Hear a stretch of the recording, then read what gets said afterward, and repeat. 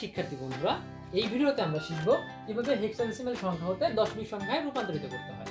তো তোমরা দেখতে পাচ্ছ, এখানে আমি হেক্সাডেসিমাল একটি সংখ্যা লিখে রেখেছি এ নাইন দশমিক টু ডি এর বেজ লিখেছি ষোলো, তার মানে তোমরা বেজ দেখে বুঝতে পারছ, এটা একটা হেক্সাডেসিমাল সংখ্যা পদ্ধতি।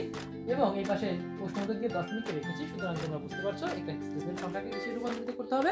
দশমিক সংখ্যা রূপান্তরিত করতে হবে। কীভাবে করব? এক একটা বারে সেম নিয়ম, আমরা এক একটা অঙ্ক দিব এ নিলাম। গুণ দিব কি দিয়ে? হেক্সাডেসিমেলে বেস দিয়ে। হেক্সাডেসিমেলের বেস কত? ষোলো। যোগ তারপরের অঙ্কটা কত? নয়। গুণন হেক্সাডেসিমেলের বেস হচ্ছে ষোলো। যোগ, যেহেতু এখানে দশমিক চলে আসছে, একটা চিহ্ন দিয়ে রাখলাম। এবার টু গুণন সিক্সটিন যোগ ডি গুণন কত? সিক্সটিন কারণ বেস হচ্ছে ষোলো। এবার আমাদের যে কথাটি ছিল, সেটা হচ্ছে কি?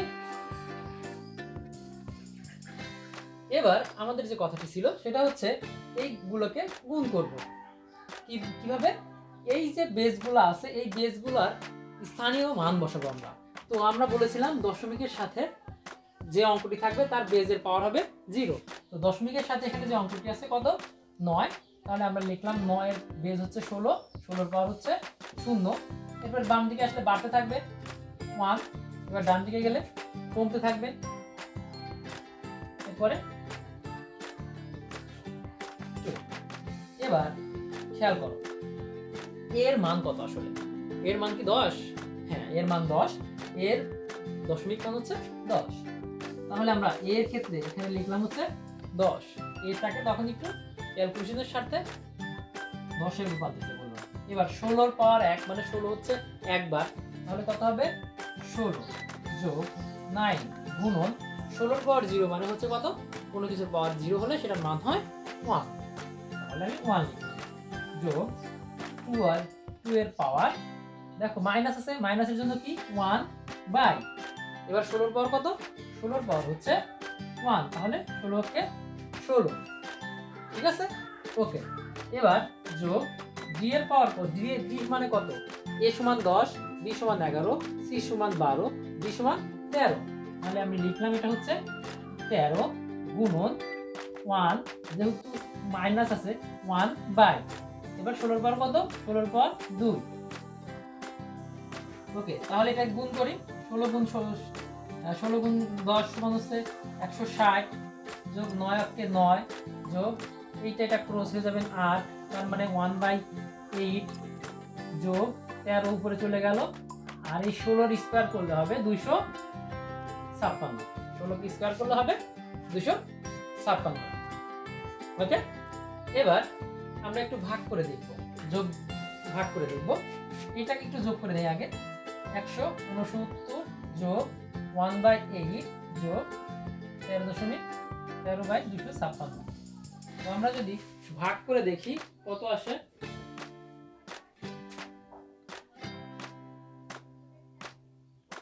এক ভাগ হচ্ছে আট তারপরে একশো উনসত্তর যোগ zero point one two five যোগ তেরো ভাগ তেরো ভাগ হচ্ছে দুশো ছাপ্পান্ন। Zero point zero point zero five zero seven চার বিটি রাখলাম। তাহলে যোগ করি, যোগ পয়েন্ট ওয়ান টু ফাইভ যোগ ওয়ান সিক্স নাইন সংখ্যাটা হচ্ছে কত? One six nine point one seven five seven তাহলে আমাদের এই যে ডেসিমেল হেক্সাডেসিমেল সংখ্যা, তার ডেসিমেল মান বা দশমিক মান হচ্ছে এটা। উত্তরটা কীভাবে লিখব আমরা? সেই আগের মতোই A nine point two D এটা হেক্সাডেসিমেলের ষোলো is equal to one six nine দশমিক ওয়ান সেভেন ফাইভ সেভেন এবং সর্বশেষে তার দশমিক আশা করি বুঝতে পেরেছ? এই তিনটি ভিডিওটি আমি একটু সিরিয়ালি দেখার অনুরোধ করব, যে কেউ যদি এই ভিডিও এই ভিডিওগুলো দেখো, তো অবশ্যই একেবারে প্রথম থেকে বাইনারি থেকে দেখে আসো, তাহলে পুরো ভিডিওটি পুরো ভিডিওটি দেখলে পরে ব্যাপারটি ক্লিয়ার হয়ে যাবে। এরপরেও কোনো প্রশ্ন থাকলে আমাকে কমেন্ট বক্সে কমেন্ট করতে পারো, আমি তোমাদেরকে জানিয়ে দেওয়ার চেষ্টা করব। ফেসবুকেও আমাকে মেসেজ করতে পারো। সবাইকে অসংখ্য ধন্যবাদ।